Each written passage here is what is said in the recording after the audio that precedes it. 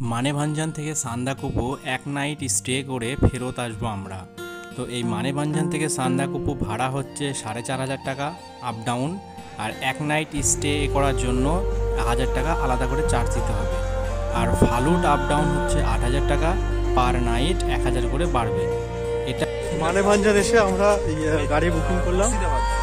তো বুকিং করার পরে আমরা যাব সান্দাকাপুর উদ্দেশ্যে।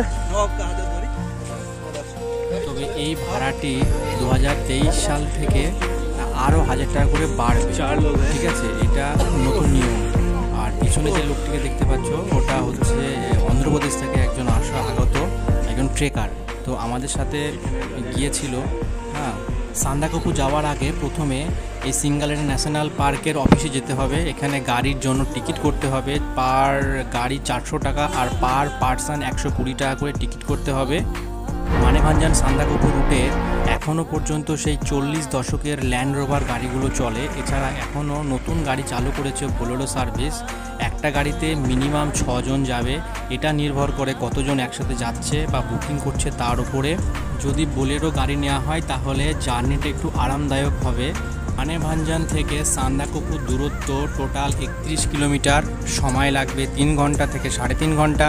রাস্তায় যদি কোথাও বেশিক্ষণ দাঁড়ানো হয়, তখন সময় আরও বেশি লাগবে। কিছু গুরুত্বপূর্ণ কথা হলো, মানেভাঞ্জান একটু সকাল সকাল পৌঁছানোর চেষ্টা করবেন, তাহলে গাড়ি আর সান্দাকপুতে হোটেল পেতে এবং পার্কের অফিসের একটা নিয়ম আছে, যেটা বারোটা বেজে গেলে আর ডাইরেক্ট সান্দাকপুর উদ্দেশ্যে যেতে দেয় না, মানেভাঞ্জান থেকে। তো আপনাকে তখন তুমলিং বা তমলুতে একদিন স্টে করতে হবে, আর তক- তারপরের দিনকে আবার সান্দাকপুর উদ্দেশ্যে যেতে হবে। তো শেষমেশ বারোটার আগে যদি আপনি বুকিং করেন সান্দাকপু উদ্দেশ্যে যে ন্যাশনাল পার্কের অফিসে, তবেই আপনি একবার একদম ডাইরেক্ট যেতে পারবেন। তো ঘড়িতে এখন সময় হচ্ছে সকাল এগারোটা। সেই দিনটা ছিল শুক্রবার।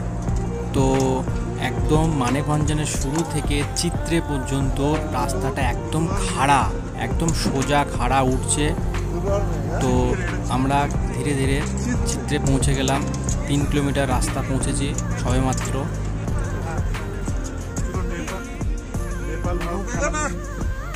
নেপাল ভারত খেলা নেপাল ভারত তো আমাদের গাড়ি চিত্রে এসে থামলো একটু। এখানে একটু টাইম কাটানোর জন্য। তো এখানে মনস্ট্রি আছে খুব সুন্দর। আর একটা রেস্টুরেন্ট আছে যেটা হক হকনেস নাম। তো এখানে থাকার ব্যবস্থাও আছে।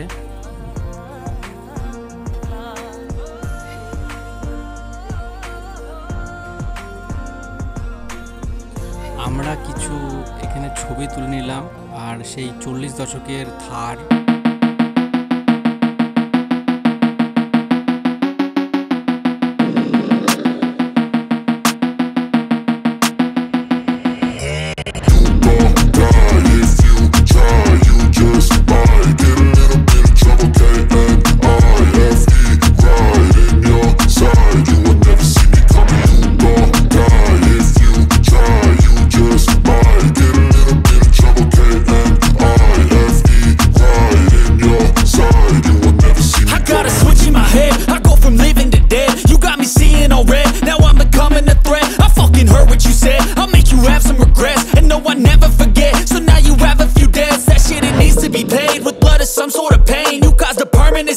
Which has determined your fate. I've never seen so clear. I feel the end and it's near. The day of reckoning's here. The sound of deafening fear. Oh.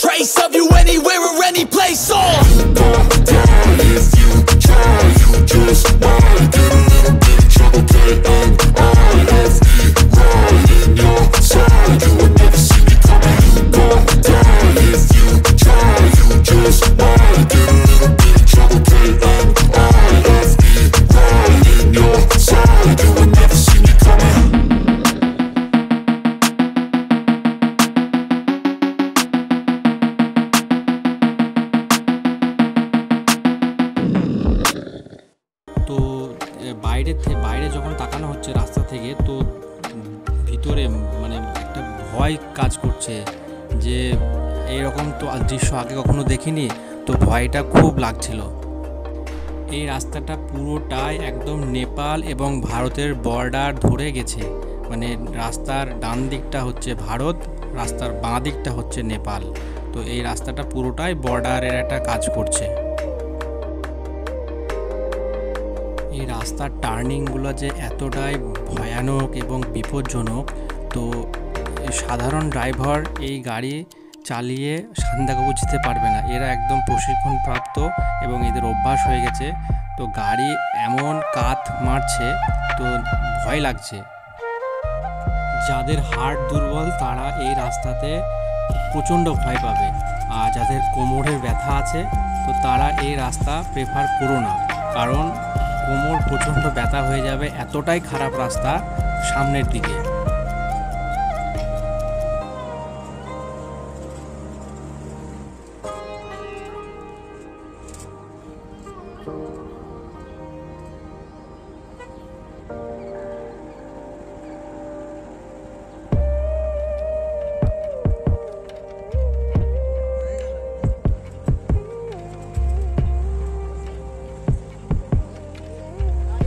এমন এমন টার্নিং আছে যেখানে খুবই বিপজ্জনক এবং ভয়ানক।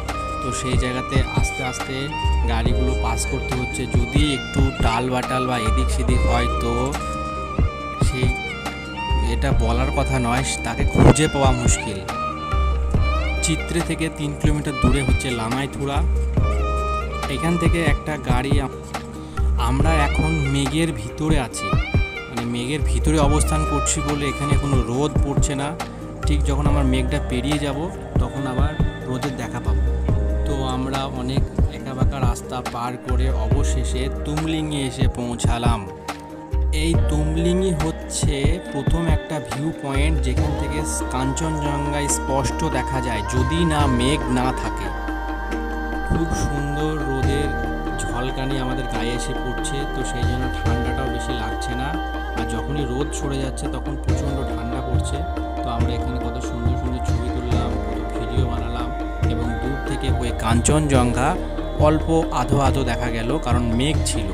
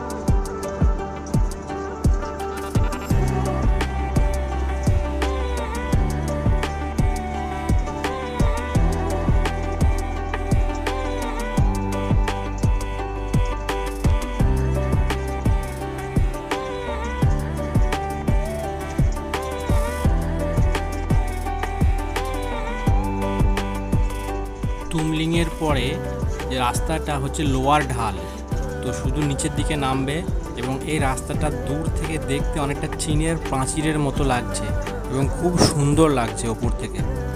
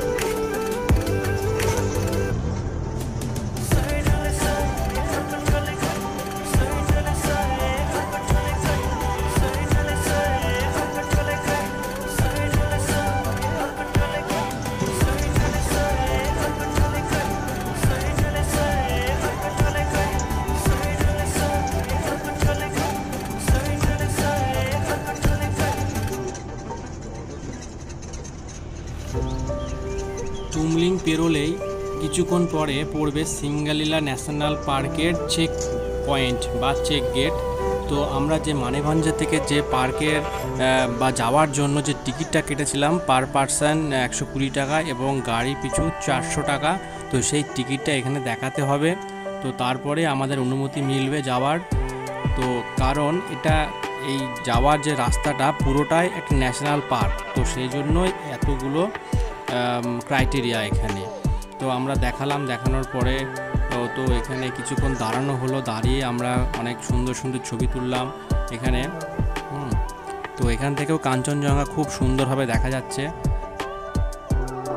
এই চেক গেট থেকে গৈরিবাস পর্যন্ত যতটুকু আমরা যাব, সবটাই আমরা সিঙ্গালীলা ন্যাশনাল পার্কের মধ্যে দিয়ে যাব। তো ভাগ্য যদি ভালো থাকে, তো আমরা ওখানে রেড পান্ডা বা শিয়াল, বাঘ এইসব দেখতে পারব। কিন্তু আশা করা যায় এগুলা দেখতে পাবো না, কারণ গাড়ির যা শব্দ হয়, তো ওরা পালিয়ে যায়। আমরা এই চেক গেটের যে টাওয়ার আছে, সেই টাওয়ার থেকে আমরা কাঞ্চনজঙ্ঘার খুব সুন্দর দৃশ্য উপভোগ করলাম এবং খুবই সুন্দর লাগছে পরিবেশটা। আমরা অনেক ছবি তুললাম হ্যাঁ অনেক মজা করলাম এবং একটু রেস্ট নিলাম এখানে। মানে খুব দেখতে খুব সুন্দর লাগছে এখান।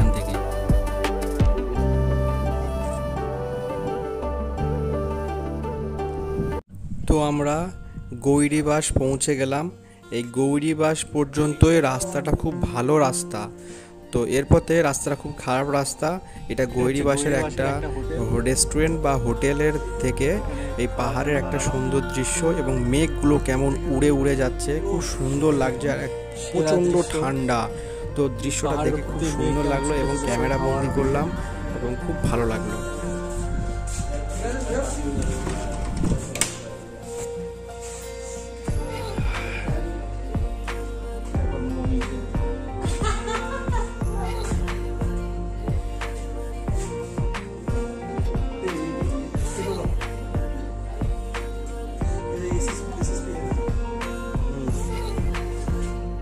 ঘড়িতে তখন একটা উনিশ বাজে। তো আমরা লাঞ্চের জন্য গৈরি বাসে আমরা মোমো অর্ডার করলাম। তো আমরা এখানে ভাত খাইনি, তো মোমোই খেলাম। তো এখানে আট পিস মোমোর দাম পঞ্চাশ টাকা নিল এবং খেতে দারুণ সুস্বাদু। মানে আমি নর্থ বেঙ্গলে মানে এই রকম মোমোর স্বাদ আমি কখনো পাইনি কোথাও। এই গৈরি বাসের এই রেস্টুরেন্টটা নেপালে। মানে যতগুলাই রেস্টুরেন্ট আছে সবই নেপালের নেপালের লোকজনরা এখানে করেছে। তো এই রেস্টুরেন্টের ঠিক অপোজিট দিকে এসএসবির ক্যাম্প আছে। তো সেখানে তো ভিডিও করা বারণ। তো ভিডিও করিনি আমি। এই গৈরি বাস থেকে সান্দাকবু দূরত্ব দশ কিলোমিটার। আর দশ কিলোমিটার রাস্তাটা খুবই খারাপ। তো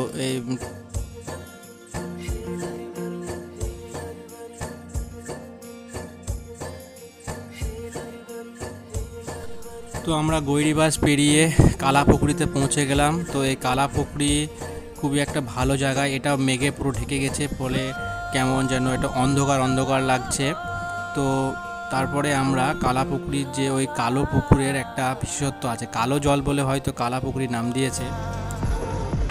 সব শেষে আমরা প্রায় সান্দাকপুর কাছাকাছি পৌঁছে গেছি, আর আমরা পুরো একদম মেঘের ওপরে উঠে গেছি। মানে আমরা মেঘের ওপরে আছি।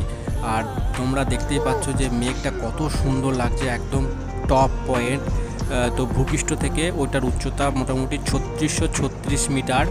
তো মেঘ তার নিচে থাকে। মানে ব্যাপারটা খুবই একটা রহস্য রোমাঞ্চকরের মতো বা খুবই একটা সুন্দর আমার লাগল দেখে। মানে চোখ জুড়িয়ে গেল, কখনো আগে এরকম দেখিনি।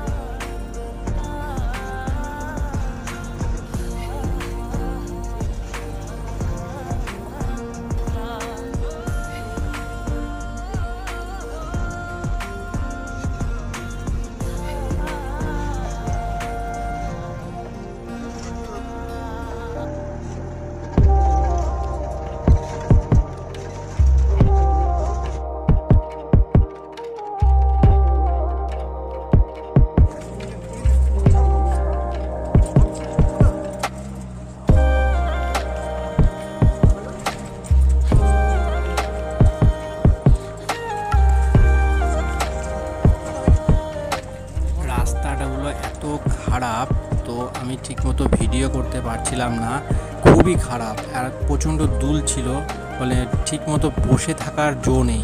মানে কেউ যদি কোমরে ব্যথার পেশেন্ট হয়, তো তার পুরো অবস্থা খারাপ হয়ে যাবে। হ্যাঁ?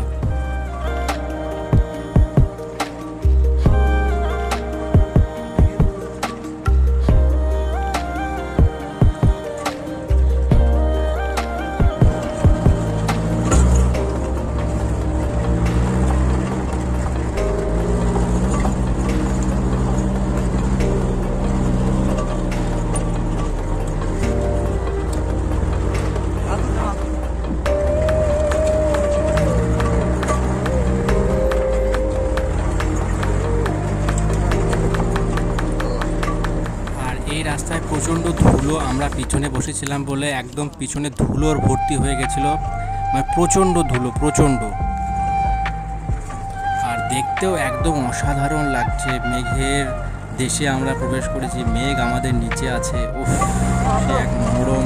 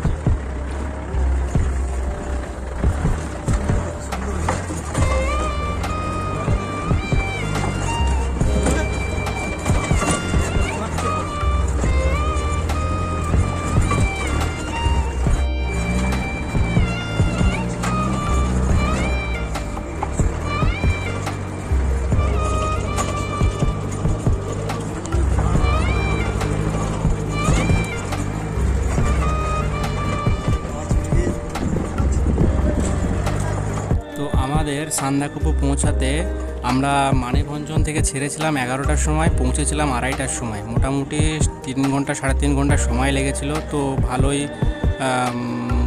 হয়েছে, সময়ে পৌঁছেছি। তো রাস্তাটা লাস্টের দিকে খুব খারাপ ছিল। তো এত অপরূপ সুন্দর দৃশ্য, তো তোমাদেরকে নেক্সট ভিডিওতে আমরা সব দেখাবো। তো ভালো লাগলে প্লিজ সাবস্ক্রাইব অ্যান্ড লাইক বন্ধুদের সঙ্গে শেয়ার করো। এই অপরূপ দৃশ্য দেখার অনুরোধ রইল সবার জন্য। Good bye